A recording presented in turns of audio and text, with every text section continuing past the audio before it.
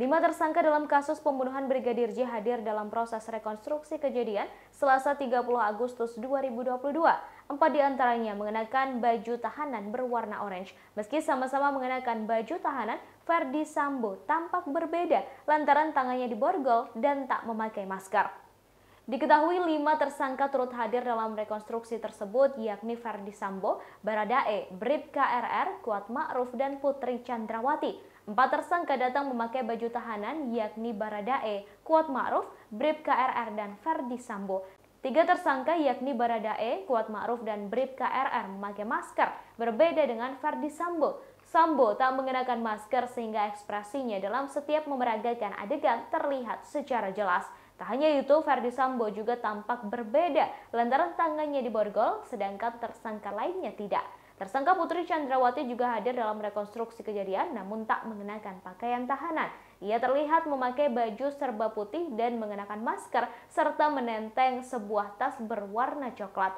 Diketahui akan ada total 78 adegan yang akan diberagakan hari ini di dua lokasi yakni di rumah pribadi Ferdi Sambo di Jalan Saguling dan di rumah dinas di Duren 3.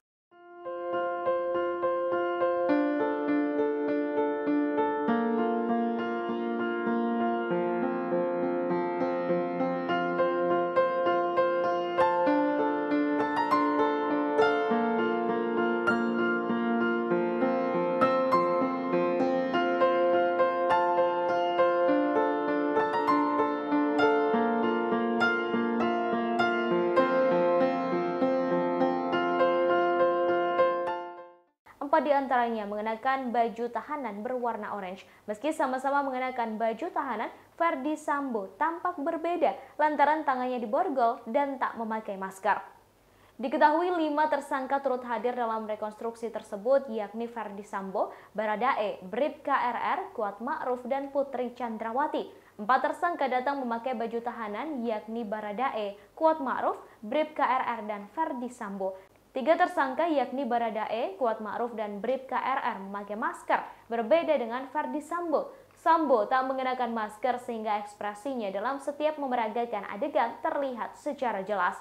Tak hanya itu, Ferdi Sambo juga tampak berbeda lantaran tangannya diborgol, sedangkan tersangka lainnya tidak. Tersangka Putri Chandrawati juga hadir dalam rekonstruksi kejadian namun tak mengenakan pakaian tahanan. Ia terlihat memakai baju serba putih dan mengenakan masker serta menenteng sebuah tas berwarna coklat. Diketahui akan ada total 78 adegan yang akan diberagakan hari ini di dua lokasi yakni di rumah pribadi Ferdi Sambo di Jalan Saguling dan di rumah dinas di Duren 3.